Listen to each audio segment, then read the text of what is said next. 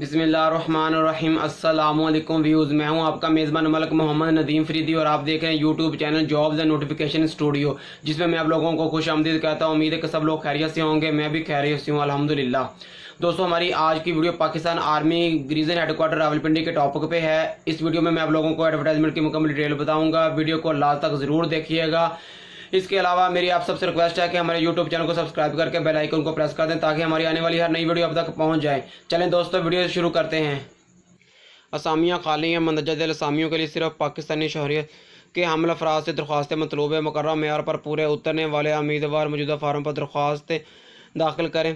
بصورت دیگر ان کی درخواستیں زیر غور نہیں آئیں گی۔ نمبر شمار ایک، نام اسامی pay scale assistant foreman armament بنیادی پے اسکیل چودہ میرٹ پہ ایک سیٹ ہے، پنجاب کوٹے میں دو سیٹیں ہیں جس جو کہ ٹوٹل تین سیٹیں ہیں۔ کم از کم تعلیمی قابلیت اور دیگر شرائط M S C physics chemistry یا B S C physics chemistry یا فزکس میتھ بما متعلقہ شعبہ میں تین سالہ تجربہ یا کسی تسلیم شدہ ادارے پولی ٹیکنیک کالج سے مکینیکل ٹیکنالوجی میں تین سالہ پوسٹ میٹرک ڈپلومہ، بما متعلقہ شعبہ میں تین سالہ تجربہ یا ایکس جی سی اوز جنہوں نے آرمی اسکول یا کالج سے armament artificial ammunition technical officer inspector small arms, assistant, regiment instructors gunnery ammunition examiner courses میں سے کوئی ایک پاس کیا ہو اور متعلقہ شعبہ میں پانچ سالہ تجربہ رکھتا ہو۔ تعداد آسامی تین۔ نمبر شمار دو چارج مین ارمامنٹ، بنیادی پے اسکیل بارہ کے پی کے کوٹے میں ایک، پنجاب کے کوٹے میں ایک، تعلیمی قابلیت اور دیگر شرائط، B S C, physics, chemistry یا فزکس، میتھ یا کسی تسلیم شدہ ادارے پولی ٹیکنیک کالج سے مکینیکل ٹیکنالوجی میں تین سالہ پوسٹ میٹرک ڈپلومہ یا ex G J C O's جنہوں نے آرمی اسکول یا کالج سے armament artificial ammunition technical officer, inspector small arms, assistant regiment, instructor gunnery, ammunition examiner courses میں سے کوئی ایک پاس کیا ہو اور متعلقہ شعبہ میں تین سالہ تجربہ رکھتا ہو۔ تعداد اسامی دو۔ نمبر شمار تین، چارج مین ویکل ٹیکنالوجی۔ بنیادی پے اسکیل بارہ، پنجاب کوٹے میں دو، کے پی کے کوٹے میں ایک۔ تعلیمی قابلیت اور شرائط B S C physics, chemistry یا فزکس، میتھ یا کسی تسلیم شدہ ادارے پولی ٹیکنیک کالج سے آٹو اینڈ ڈیزل ٹیکنالوجی میں تین سال پوسٹ میٹرک ڈپلومہ یا ایکس جے سی اوز جنہوں نے آرمی اسکول یا کالج سے ارمامنٹ آرٹیفیشل کورس پاس کیا ہو اور متعلقہ شعبہ میں تین سالہ تجربہ رکھتا ہو۔ تعداد اسامی تین۔ نمبر شمار چار۔ Research assistant. Laboratory grade two بنیادی پے اسکیل بارہ کے پی کے کوٹے میں ایک سیٹ۔ تعلیمی قابلیت اور شرائط، بی ایس سی، فزکس یا کیمسٹری یا یا کیمیکل ٹیکنالوجی میں تین سالہ پوسٹ میٹرک ڈپلومہ، تعداد اسامی ایک۔ نمبر شمار پانچ، سپروائزر اے، ارمامنٹ، بنیادی پے اسکیل گیارہ، پنجاب کے کوٹے میں چار پوسٹیں۔ تعلیمی قابلیت اور شرائط، کسی تسلیم شدہ ادارے یا پولی ٹیکنیکل کالج سے مکینیکل ٹیکنالوجی میں تین سالہ پوسٹ میٹرک ڈپلومہ یا ایکس سروس مین جنہوں نے آرمی اسکول یا کالج سے armament, artificer, ammunition, technical officer, inspector small arm, assistant, regiment instructors gunnery, ammunition examiner courses میں سے کوئی ایک پاس کیا ہو اور متعلقہ شعبہ میں پانچ سالہ تجربہ رکھتا ہو۔ ٹوٹل اسامیاں چار۔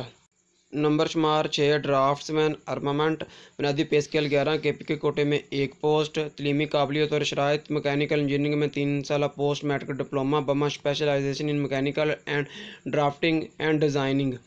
Total تعداد اسامیاں ایک۔ نمبر شمار سات، اپر ڈویژن کلرک، بنیادی پے اسکیل گیارہ، سندھ اربن ایک، سندھ رورل ایک۔ تعلیمی قابلیت اور شرائط، انٹرمیڈیٹ بما ٹائپنگ سپیڈ، تیس الفاظ فی منٹ، کمپیوٹر کا تجربہ قابل ترجیح۔ بھرتی کے بعد national information technology board N I T B سے تین ہفتے کا ابتدائی آئی ٹی ٹریننگ کورس دوران ازمائشی مدت بوشن پاس کرنا ضروری ہوگا۔ تعداد اسامیاں دو۔ اپلائی کرنے کا بہت ہی آسان طریقہ ہے۔ نمبر شمار ایک۔ امیدوار اپنی درخواست موجودہ فارم پر ہمراہ تعلیمی اسناد، قومی شناختی کارڈ، ڈومیسائل سرٹیفکیٹ کی تصدیق شدہ نقول اور ایک حالیہ پاسپورٹ سائز تصویر جمع کرائیں۔ نمبر شمار دو، عمر کی حد اٹھارہ سے تیس سال سے تیس سال ہے۔ Gilgit Baltistan, FATA, Azad Kashmir, Sindh, urban, schedule caste اور بلوچستان سے تعلق رکھنے والوں کی صورت میں عمر کی حد میں تین سال کی رائے دی جائے گی۔ سابقہ فوجیوں کے لیے عمر کی حد پنتالیس سال ہے۔ نمبر شمار تین، درخواست گزار مبلغ سو روپے، اکاؤنٹ ٹائٹل یہ یہ اکاؤنٹ ٹائٹل ہے Askari bank G H garrison headquarter Rawalpindi branch کا۔ آن لائن جمع کروانا ہے آپ لوگوں نے اس اکاؤنٹ میں۔ اور اصل ڈپازٹ سلپ درخواست کے ساتھ منسلک کریں۔ اس کی جو فوٹو کاپی وہ اپنے پاس رکھ لیں۔ کروا کے۔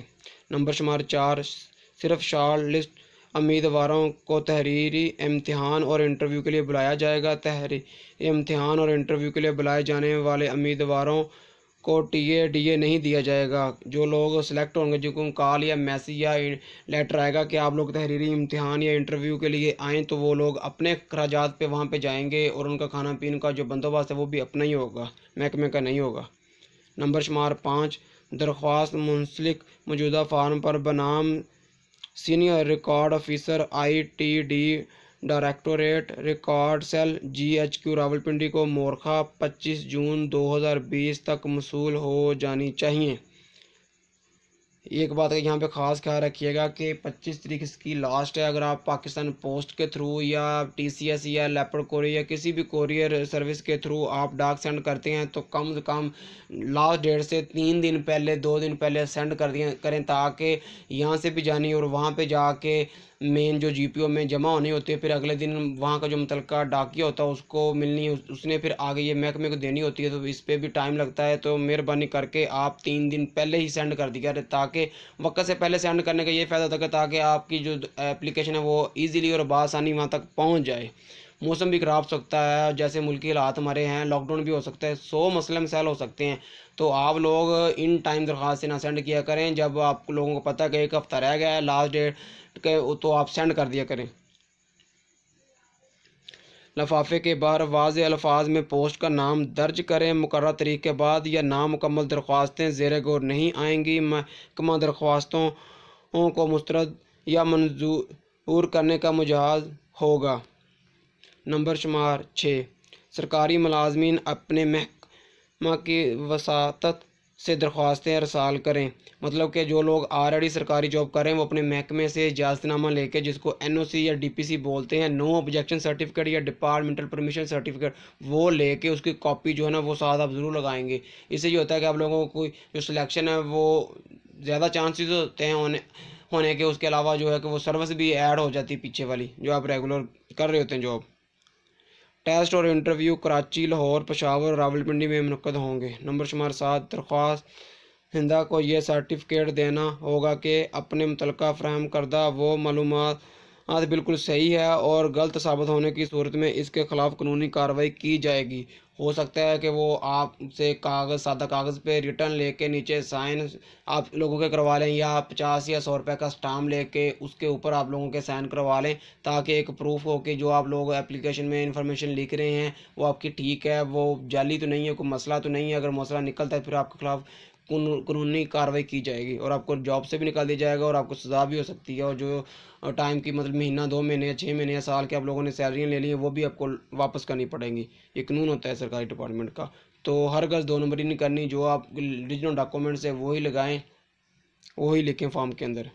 نمبر شمار آٹھ ہر ممکنہ ممکنہ امیدوار صرف ایک پوسٹ کے لیے درخواست دے گا، کیونکہ تحریری امتحان اور انٹرویو ایک ہی دن منعقد ہوں گے، اس لیے ایک سے زیادہ درخواستیں قابل قبول نہیں ہوگی۔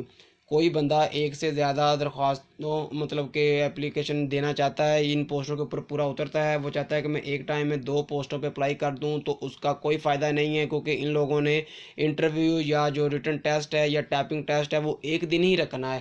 تو ایک دن میں آپ لوگوں کو ایک ہی پوسٹ پہ جو آپ لوگوں نے اپلائی کیا ہوگا، اس کے انٹرویو یا ریٹن ٹیسٹ یا ٹائپنگ ٹیسٹ کے اندر جانے کی اجازت ہوگی، نہ کہ آپ ایک کا دے لیں، بعد میں سوچیں کہ گھنٹے بعد ہم دوسری کا بھی دے لیں، ایسا نہیں ہوگا۔ آپ لوگوں کی درخواست سے ریجیکٹ ہو جائیں گی۔ ٹیسٹ اور انٹرویو کے وقت اصل اسناد بما فوٹو کاپی پیش کرنا ہوں گے۔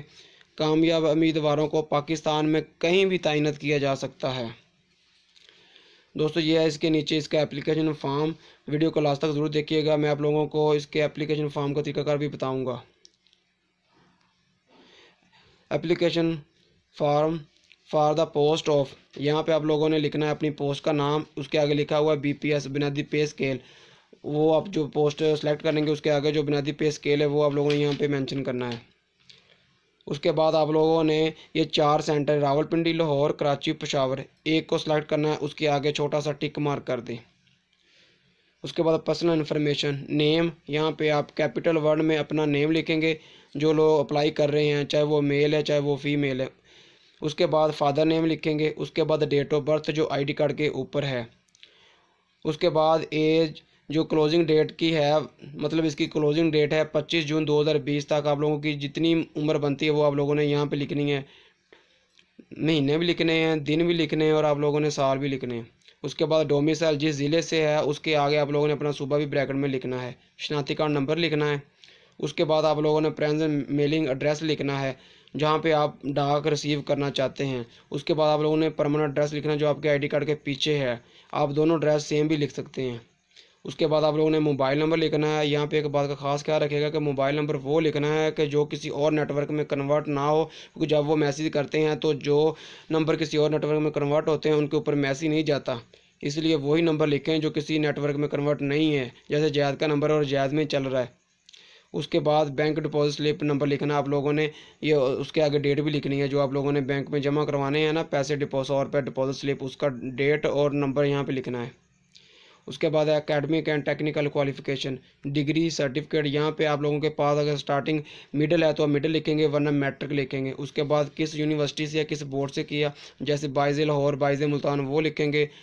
ایئر آف پاسنگ کس سال پاس کیا، وہ سال لکھیں گے. مارکس آف مارکس اور جو آپ لوگوں کے اب ٹین مارکس آئے ہیں، وہ لکھیں گے. ٹوٹل مارکس لکھیں گے. گریڈ یا ڈویژن لکھیں گے. سبجیکٹ لکھیں گے.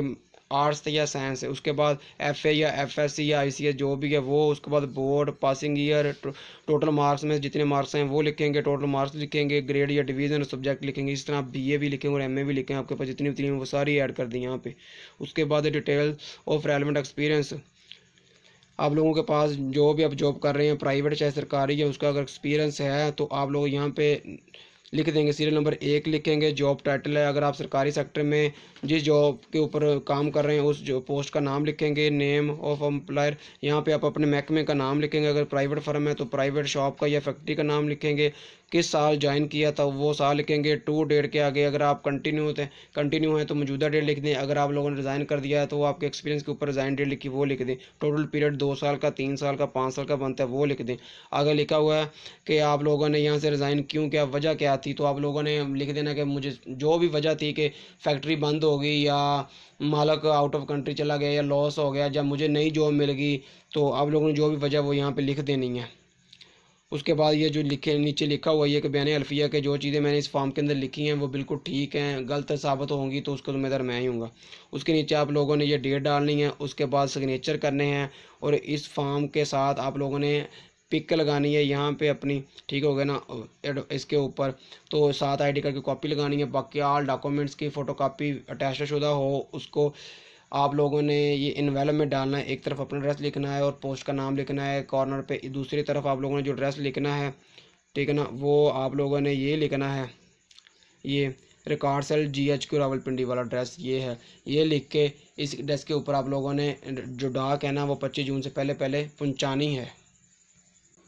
امید ہے کہ دوستوں ہماری آج کی ویڈیو آپ لوگوں کو پسند آئی ہوگی۔ مزید ویڈیو کے اپڈیٹ جاننے کے لیے ہماری ویب سائٹ وزٹ کریں فیس بک پیج لائک کریں اور واٹس ایپ گروپ جوائن کریں۔ اس کے علاوہ ایڈورٹائزمنٹ اور اپلیکیشن فارم ڈاؤن لوڈ کا لنک بھی آپ لوگوں کو ڈسکرپشن میں مل جائے گا۔ اور میری آپ سب سے ریکویسٹ ہے کہ ہماری ویڈیو کو لائک اور شیئر ضرور کیا کریں تاکہ یہ ویڈیو کسی ایسی انسان تک پہنچ جائے جو کہ روزگار کی تلاش میں اور یہ بھی ایک صدقہ جاریہ ہے۔ شکریہ۔